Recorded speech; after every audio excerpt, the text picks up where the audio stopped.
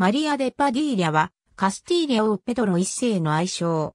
ペドロ一世はマリアを最も愛し、一方で、王妃ブランカでボルボンを幽閉していたため、マリアが実質的な王妃であった。青池康子の漫画、アルカサル王女マイナスの影響もあり、マリア・デ・パデリアの表記も広く用いられる。また、カスティーリャ語では、マリーア・デ・パディージャのようにも発音される。ユソのパディーリャ教会、マリア・デ・パディーリャの浴槽、アストディージョで生まれた。聖火パディーリャ家は、ブルゴスのパディーリャでアバホ家、パディーリャでユソ家の流れを組み、カストロヘリスの大会員にあった。ペドロ一世は、アストリアスで反乱を起こした、ショアニエンリケでトラスタマラの征伐時に、マリアを見知ったとされる。その時から、マリアは、ペドロ一世の愛称となり、結婚を超えた彼の熱愛の対象となった。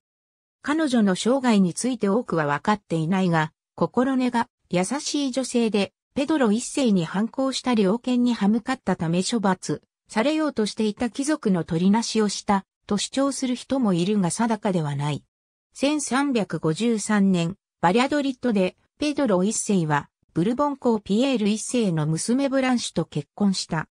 しかしこの結婚は王の長身、フアン・アホンソでアルブルケルケと王太后マリアでポルトガルが画策した政略結婚で、すでにマリア・デ・パディーリャを愛称にしていたペドロが望んだものではなかった。結婚式の3日後、ペドロ一世は新妻を捨てた。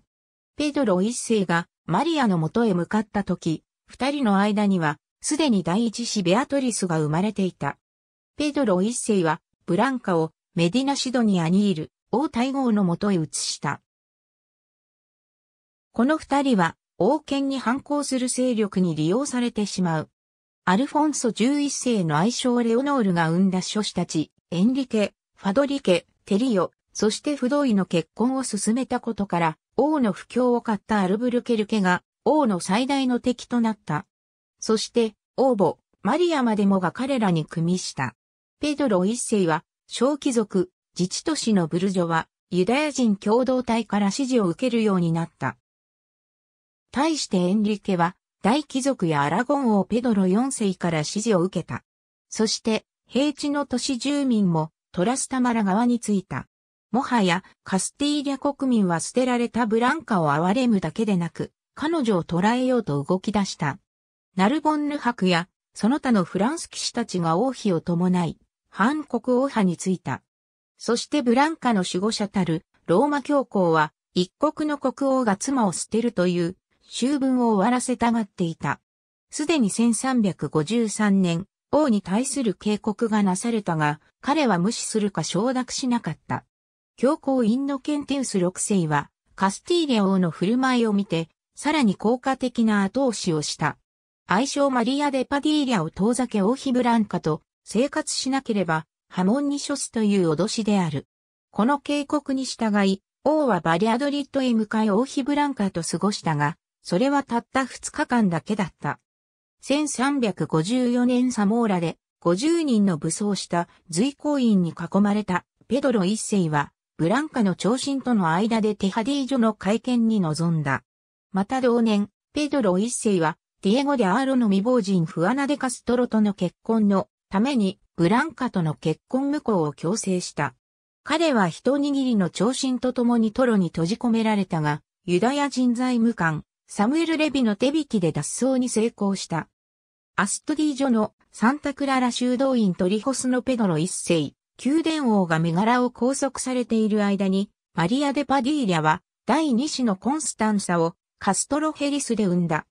王に代わってマリアは自身が支援する首都会の二層のための修道院設立の許可を教皇に申請し、申請の手紙の中で彼女は二層になることをほのめかした。フアナを捨ててペドロがマリアの元へ戻ってきたため、マリアは修道院に入らなかった。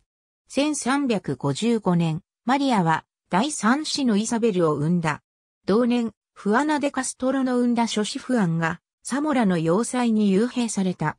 マリアの産んだ子供たちより多い継承権が勝るとされないよう、彼の存在が忘れられる必要があったのである。1356年、反国王派を打ち負かしたペドロ一世はブランカをアレバロへ移し、その後トレドへ移した。マリアはトルデシリアスで第四子のアルフォンソを生んだ。1361年、ペドロ一世はブランカをメディナシドニア、そしてヘレスでラフロンテーラへ移した。そこで彼はマリアを王妃にするためにブランカを殺害するよう命じたとされる。しかし、マリアはセビーリアのアルカサルで急逝した。同時代の年代記によれば、死因はペストであったとされる。彼女は自身が設立したアステュディージョのサンタクララ修道院に埋葬された。ペドロ一世は最愛の女性の死に涙し、打ちひしがれたという。一年後、セビーリアで行われたコルテスで、貴族らを前に、ペドロ一世は、マリア・デ・パディーリャを唯一、そして正当のカスティーリャ王妃と宣言した。トレド大司教は、二度の王の結婚の無効を表明した。コルテスでは、マリアを王妃として認知すること、マリアの子供たちが着室子であることが、好意的に批准された。マリアの棺は、セビーリャ大聖堂の王家の礼拝堂へ移された。セビーリャのアルカサルの地下には、マリア・デ・パディーリャの浴槽と呼ばれる雨水タンクがある。1362年、ペドロ一世はアルフォンソを正当な王位継承者と宣言し、アラゴン王ペドロ四世の王女との結婚を交渉していたが、アルフォンソが溶接したことから交渉は立ち消えとなった。マリアの産んだ三人の王女たちの生涯は違ったものとなった。ベアトリスは修道会に入り、二層となった。コンスタンサはランカスター公ジョン・オブ・ゴーオントと結婚し、イサベルはランカスター公の弟であるヨーク公エドマンドと結婚した。コンスタンサとイサベルはカスティーリアの正当な王位継承者とみなされていたことから、この結婚によってカスティーリア王位継承権はランカスター家とヨーク家が相続したものとされた。1388年、カスティーリャ王子エンリケとランカスタ公女キャサリンの結婚により、ペドロ一世とエンリケ・デ・トラスタマラの争いに終止符が打たれた。バイオンヌでの同意により、エンリケにはアストゥリアス公位が授けられた。アルフォンソ11世の二つの家系が一つになったことを示す。この公位は現在もスペインの王位継承予定者に与えられる称号である。当時は現在のような儀礼称号ではなく、実際にアストリアスの領主でもあった。アストリアス公を単なる儀礼称号へ変えたのはカトリック両王の時代である。ドセルマーナスのドニャマリアの塔。ありがとうございます。